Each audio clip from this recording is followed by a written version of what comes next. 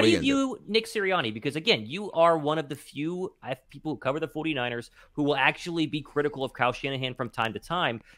Eagle fans are a little bit iffy on on, on Sirianni. Every now and then I say Why?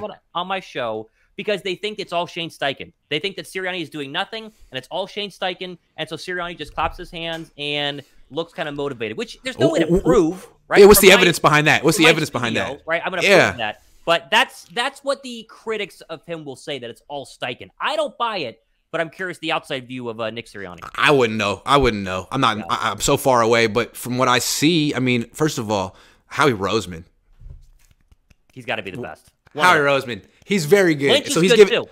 Yeah. Oh yeah, no, the two of them seem to Yeah. be at the top in the NFC right now. Yeah. In terms of understanding you don't over you don't splurge for good quarterback play. The Niners did that for a while with Jimmy Garoppolo. You guys did that for a while with Carson Wentz, but now it's like don't don't just spend on the rest of the team and make the quarterback's job as easy as possible. Yep. That is really smart. So as far as what Nick Sirianni's doing, I feel like like him and Kyle have the easiest jobs in the league and they get so much credit, but it's like, yo, your job is hella easy. That being said, I mean, he took care of business. He lost one game when, when Hurts was uh, healthy.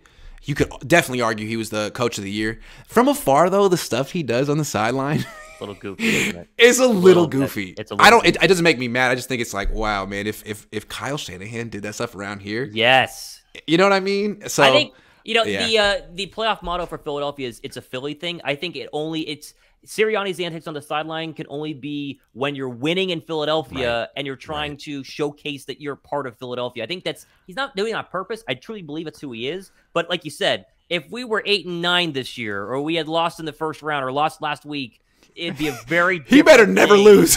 Doing stuff like that, he better Oh. be like 13 and 4 every I know. freaking year. But right now, I guess he, you know, you, he can strut his stuff. He's that guy. He's got that team. But I mean, I really like the scheme. I, everything they do with that quarterback is like exactly what I think the Niners should do with Trey Lance. It's ex- or, or or what Chicago should do with Justin Fields. I mean, it's a it is a model blueprint of how to handle the the the modern dual threat quarterback, and as opposed to what freaking Baltimore does. Yep. You know, just run the guy into the freaking ground. He's hurt at the end of the year. Like, no, I, I, th- no, I think what they do in uh, Philly is the is the blueprint. It's great. I Yeah. totally agree. If I was uh, Justin Fields, I'd just take all the Eagle game film and bring it to my offensive coordinator and be like, let's just do this. Literally the exact same thing, and then we're good. We're done. That's why when people are like like iffy about Justin Fields, I'm like, just just picture him on the Eagles. Right. Tell me he couldn't do that. right. He, He could do it. He could freaking do it. Yeah. Trey Lance too. So yeah, Yeah. it's it's you got to think about that when you're judging quarterbacks. So much depends on the team they're on.